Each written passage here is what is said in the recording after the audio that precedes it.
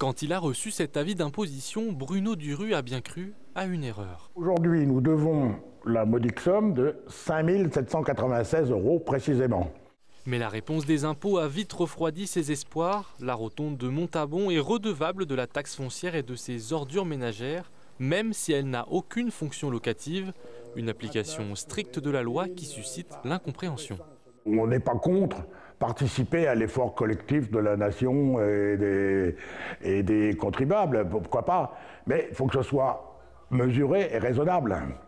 Là, en l'occurrence, on paye 1600, un peu plus de 1600 euros d'ordures ménagères alors qu'on n'a pas de vie à la rotonde, donc on génère pas de poubelles, on n'a pas de déchets ménagers.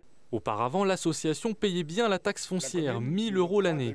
Mais avec la restauration du site, notamment grâce au loto du patrimoine, le bâti a pris bien plus de valeur aux yeux des impôts qui ont décidé de taxer plus et cependant plusieurs années. Un coup dur pour les bénévoles qui restaurent le bâtiment grâce aux dons des visiteurs. On prévoit donc en 2026 d'avoir 8000 euros euh, d'impôts fonciers avec 8000 euros, on fait beaucoup de choses. Hein.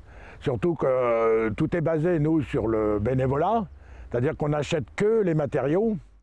Le député Éric Martineau s'est saisi du dossier. Il aimerait qu'un amendement soit déposé. Moi, ce que j'aimerais, c'est qu'on gèle cette base foncière qui fasse que, bah, OK, il y a des bénévoles qui ont donné de leur temps, il y a l'État, il y a des subventions, il y a des aides, des collègues, des dons qui ont permis que ce soit possible de la rénover à des fins non lucratives eh bien, on ne les taxe pas aujourd'hui. En France, une centaine d'associations comme celle de la Rotonde de Montabon seraient concernées par ce phénomène fiscal sans qu'aucune solution n'ait encore été trouvée.